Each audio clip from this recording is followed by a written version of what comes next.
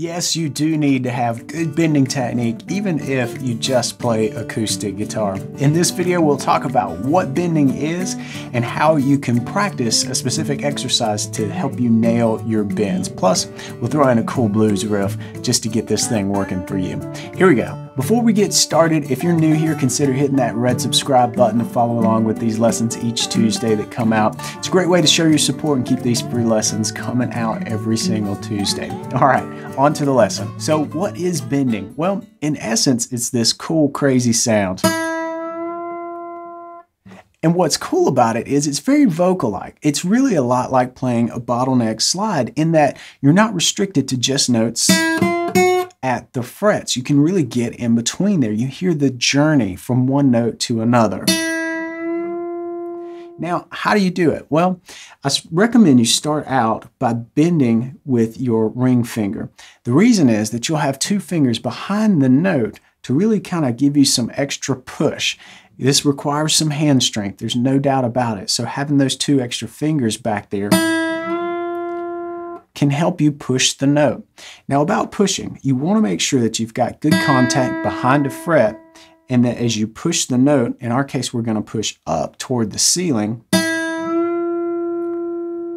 you want to maintain that steady, constant contact with the string. You can't, you know, lose contact or you're going to stop producing a note. And also, you don't want to have too much pressure because that's just bad technique and it's bad for your hands. We don't want hand cramps when we play. So just get enough contact there to push through and sort of pivot your wrist a little bit. That can help kind of push that note toward the ceiling in this case. And I say in this case because you can't do that on the sixth string. You're going to push right over the top of the fretboard. So it can be the reverse motion to bend up in pitch pull down. And again, it helps to have these two fingers there to pull down. Over time, I would encourage you to practice bending with different fingers. There are going to be times when you'll bend even with your first finger and even with your little finger. So, you know, but start here if you're brand new to bending. This is definitely the, the place where your fingers are going to help each other. Use that buddy system, use these two fingers to push you along. Don't lose sight of the fact that you're starting from a pitch and you're moving to another pitch. I told you it's a journey in between the two, but you got to know where you're ending, right? This is something that was lost on me when I first started playing. I would grab a tab book, and if it said half bend to me, that just meant, you know, kind of halfway bend it. And if it was full, I would bend it what I thought was twice as far. That's not what that means at all. It's actually bending a half step, which means target the note a half step up or one fret up, or it means a full bend is a full step, a whole step, or two frets. From here, bend up to here but you're targeting those pitches. And we'll talk about some microtonal bends in a little bit that are really handy in the blues. But when you're going for a note, you got to make sure you nail you nail it. And one way to do this is to use this exercise. This has been very helpful for me. You want to start at a pitch. Let's start here at this E note on the second string. And you want to bend up. Let's practice our half step bends. We'll start with this E note, fifth fret, second string, and we'll bend up to the sixth fret here. That's an F note, half step above our E. So we want to play this F fretted, get that pitch in your mind, hold it there. Because what we're going to do is go back to the fifth fret and bend up to this pitch.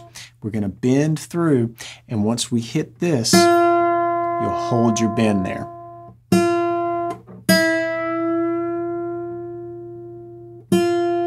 Pluck it again, and then come back and check. See how you did.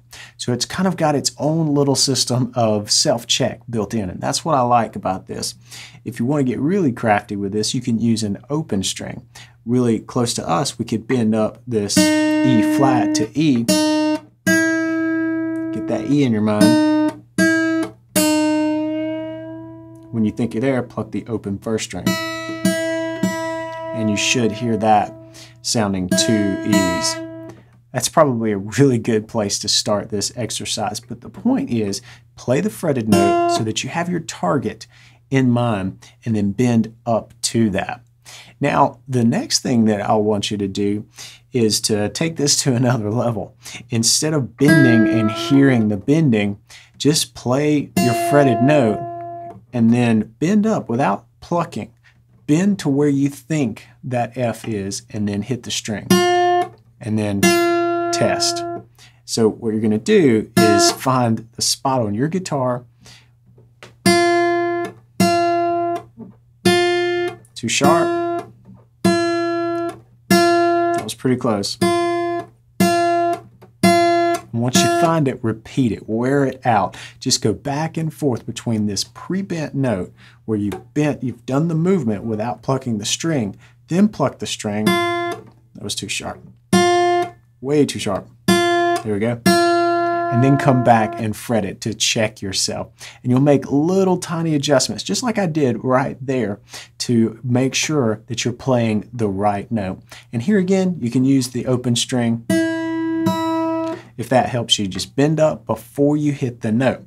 That's next level stuff that really helps you to know and get your fingers and your muscle memory to know where that note is, how far you have to bend to hit a half step. Now, the next thing is you'll want to take that same exercise and apply it to a whole step. So instead of bending from E to F, you could bend all the way up to this F sharp. Give that exercise a go and it's going to give your fingers a little bit of a workout, but it'll also really test your ear's ability to hear these tiny little differences in pitch. And that's going to help you in a million different ways on the guitar. Okay, there's one more type of bend, a microtonal bend that I want to show you in a second. But right now, let's stick with those half step and whole step bends and have a look at a couple of examples of pitches that you should bend. I'm going to come at this from the key of E. So E's R1, and then we've got F sharp would be R2, G would be our minor third, okay? And we can bend that F sharp up to G. We probably don't want to do it there, but we could come up here. There's our one. Here's our F sharp. We could bend this up to that minor third with a half step bend.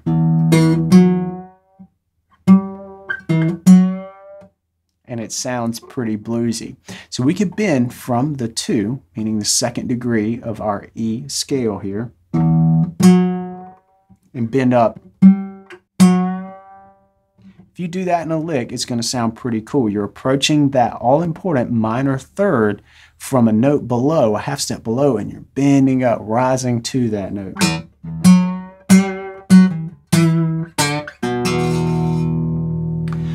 There's a short little lick just to show you how cool and groovy it can be to take that two and bend it up to the minor third. So that's a good way to practice and put into use your half step bend from the two to the minor third. Now another good bend to have in your back pocket would be bending up the flat seven up to your root. Okay, so in this lick, we bent up from this D note, which is the flat seven, up to the E. So that's a full step bend. And you can bend that flat seven up to your root.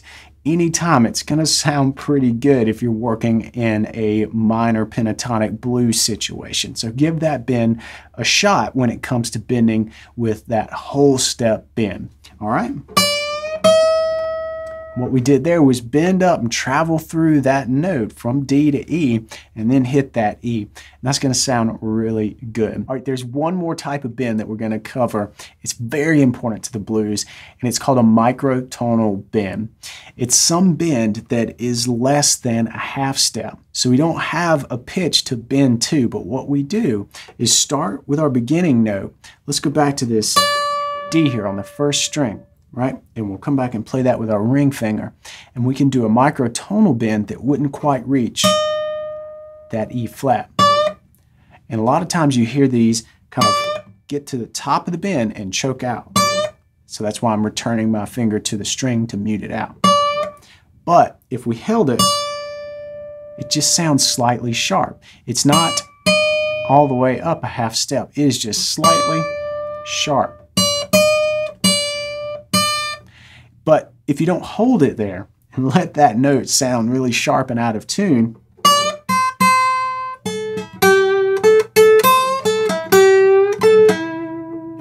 it can have a really cool vocal like effect. We're just kind of carrying that note, just putting a little edge on the note. I use this far more than the full step bends or even the half step bends. This is one you've got to get familiar with. It's a little bit harder to practice, but I would tell you to spend some time just practicing pushing a note sharp till it sounds good to you and then coming back and locking down on it with your hand and mute it out. Get to the top of that bend, make sure it's less than this in distance and just get that crying sound going. That's what we're looking for with these microtonal bends. All right, now let's have a look at a cool example that puts that microtonal bend to work.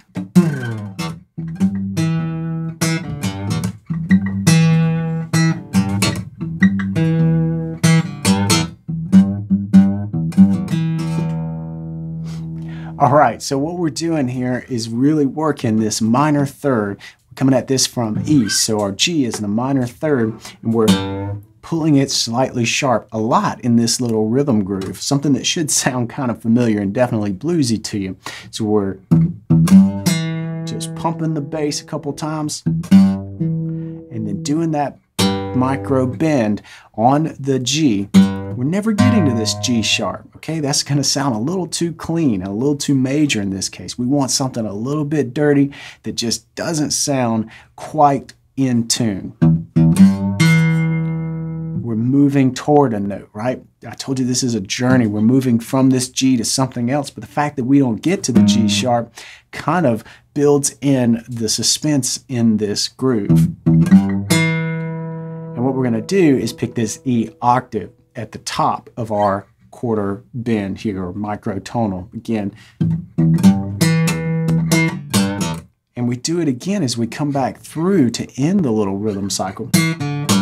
So that's just the E, the D, and then we come back and I am kind of snapping the string outward to get a cool vibe happening here. But, but then I'm pulling the G sharp, pulling the G note sharp out of tune, and then coming back and popping that string to start all over again. All right, so that's a short little blues groove that puts that microtonal bend to work for you. We're just bending this G slightly sharp and working through the rest of the groove. You can take that little nugget of an idea and expand on it. I'm sure you can come up with something really, really cool. It's a classic blues sound. And the microtonal bend there is definitely adding to it. So have fun with these bends. Be sure to go back and practice the exercises where you bend up to a half step or a full step bend, but you know the pitch that you're going to.